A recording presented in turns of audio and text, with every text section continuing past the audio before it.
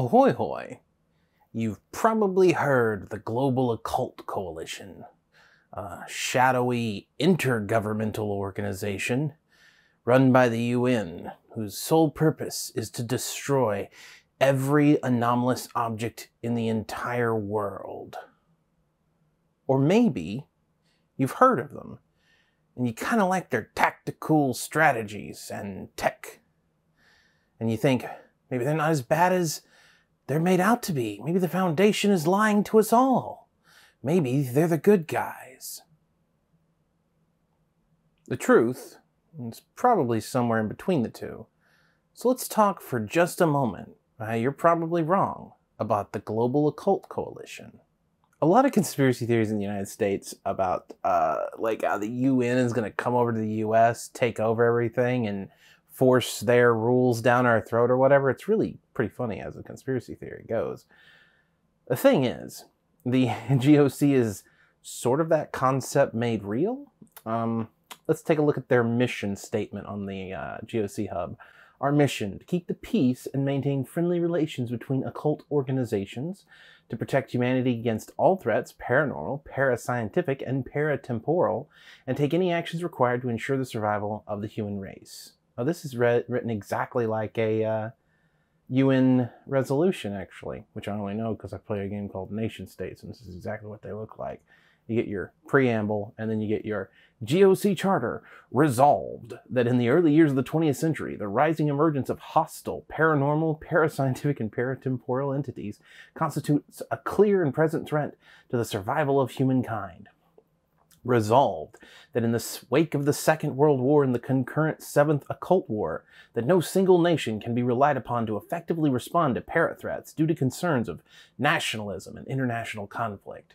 Resolved that the necessity of responding to said parrot parathreats is of utmost importance and must, by necessity, supersede any concerns of national, regional, or cultural self-interest. Therefore, we, the undersigned leaders of 108 major paranormal organizations authorize the formation of an international organization dedicated to keeping the peace and identifying, neutralizing, and containing said para threats, being the highest authority in such matters, superseding all national, international, and otherwise corporeal interests.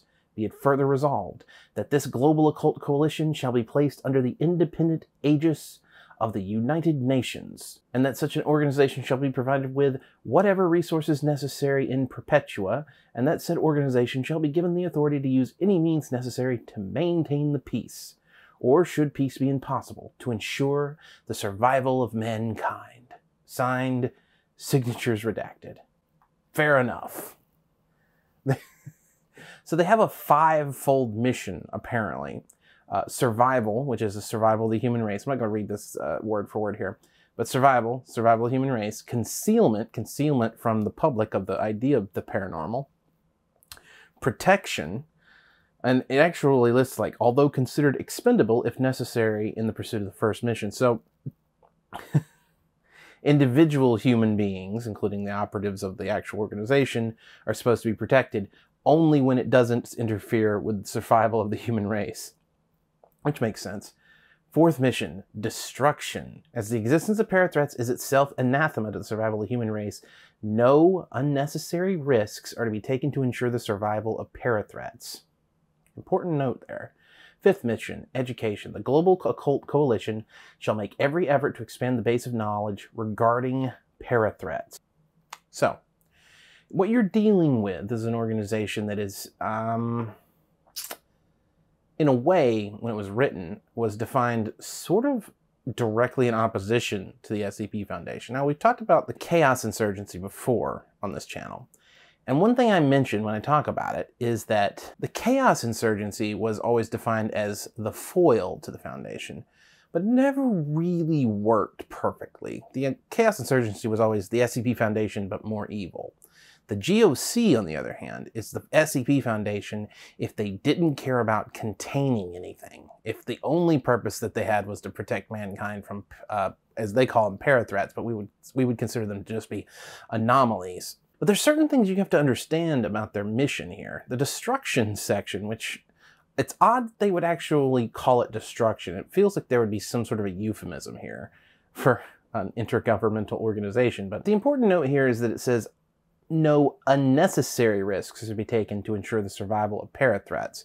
Now, that line is specifically uh, alignment to oppose the SCP Foundation's ethics of taking what they consider unnecessary risks to preserve an anomaly. Problem is, is that the SCP Foundation's not really taking unnecessary uh, risks most of the time.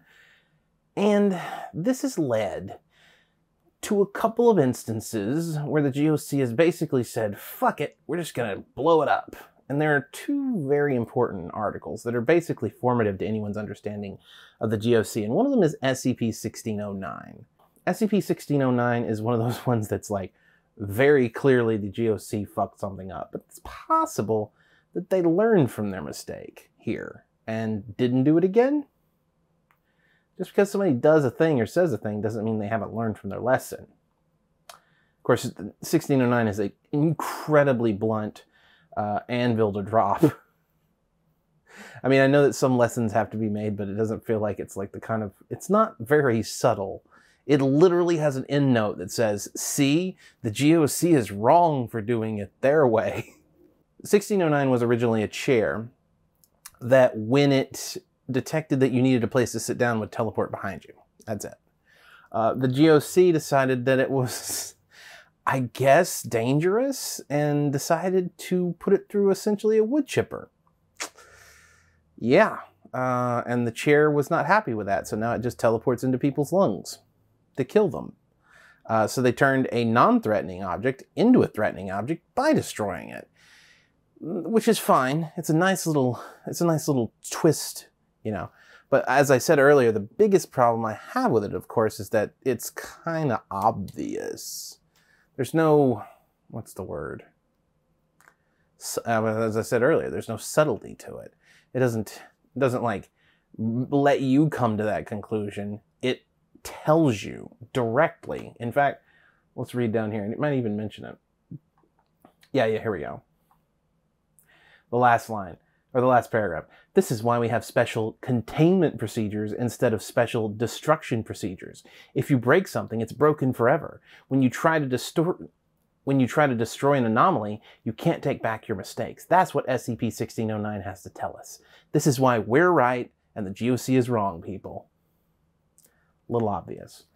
A little bit less obvious is 1522, which is another one which will be commonly brought up um, when talking about the GOC because they also needlessly destroy something. Uh, in this case, it's just a couple of fishing trawlers that are apparently sentient and in love, and that's it. And the GOC solution is to blow them up with missiles. uh, and, and, this is important to remember, by the way. And I'll add this as kind of a close to a, a conclusion for this. And this article here is meant to tug on the heartstrings. That is literally the purpose of it. And there's really only just a single solitary mention of the GOC towards the end, but it and it does a little bit better of a job of making it subtle. But the important part is two. The important thing to remember here are two things. First of all, the GOC destroys them because they don't know what they are, and they don't know that the SCP Foundation has them under control. Two, you have to realize that the SCP Foundation and the GOC are not synchronous they don't work together more often than not. They are not enemies actively, and they have worked together when necessary, but they are not allies. And so, the SCP Foundation spends a lot of time, I mean, especially in the way that their viewpoint, uh, their views of the GOC, in fact, from the old article that I just read you the, the bottom paragraph of, they do not see the GOC as correct, and they see it as something of a uh, of a moral and ethical and uh, philosophical difference. And so, the portrayal of the GOC in the articles is skewed. Though there is one thing to say about that. Just because you know that there's a bias in a thing doesn't mean that thing is invalid. A bias is something you have to take into account.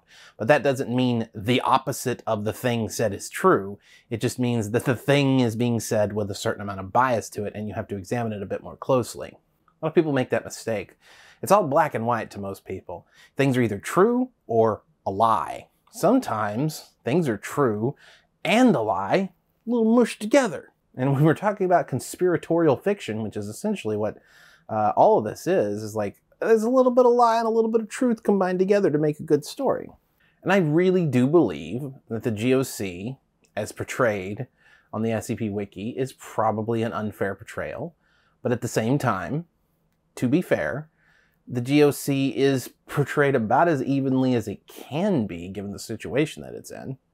But at the same time, the GOC does quite a lot that is uh, morally repugnant because they believe that it is going to protect mankind. They hold them. This is the this is the really important part. This is the important part to recall. The GOC is all about protecting mankind from paranormal threats, from anomalies. But the problem with considering all paranormal threats to be threats to humanity, which maybe they don't, maybe they've learned their lessons from previous incidents, is that it means you're separating humanity out. And that's the thing that if you read enough SCP articles, you begin to understand. The paranormal is not separate from humanity. There's not the paranormal and humanity. There's just the universe that you live in. And some humans are paranormal, and some humans aren't paranormal. And sometimes anomalies serve humanity, and sometimes they don't. Understanding that distinction is incredibly important. And just like in real life, there are no broad strokes, but the GOC, as written, acts as though there are. The GOC, as it's classically portrayed and classically understood by the offsite fan base and by some established authors, is as a cartoon villain the extremists, the lawful stupid paladins. But they don't have to be. Anyway, that's it. Thank you very much for watching. If you'd like to get some of my merch, there's a carousel beneath this video. I'm wearing the hoodie. You can't, eh, eh, you're wrong about this hoodie. There's this, the you're wrong about this poster poster. I've got t-shirts, I've got a mug on the way. Uh, not for me, it's actually a gift for somebody else. But I've got a mug on the way. I'm gonna show, I'm gonna have it on camera though. I'm gonna show it off before I give it away. And make sure while you're down there, you hit the subscribe button if you haven't already. It's very important that you subscribe. More subscribers means I can do more things. And finally, you can head on over to patreon.com forward slash DCimmerian like everybody here on the screen already has. It's an immense help to me to be able to know that even if the as uh, even if the SCP Wiki outlaws me advertising or does something silly like that, or YouTube decides they want to make it so that I can't advertise anymore, or decides that I'm not appropriate, and it's uh, no no one wants to run ads on SCP content, get off our platform. That I will still have my Patreon backers. You guys are the lifeblood of the channel. I appreciate it so much, and I want to make sure and read out probably not a wizard and definitely not a scientist's name, and Manuel Noltorp, both of which were pledged at $40. Uh, if you pledge at 30 or $40, you get your name read on video. Thank you for letting me know that I'm not alone out here, and neither are you. I'll see you all again on Thursday.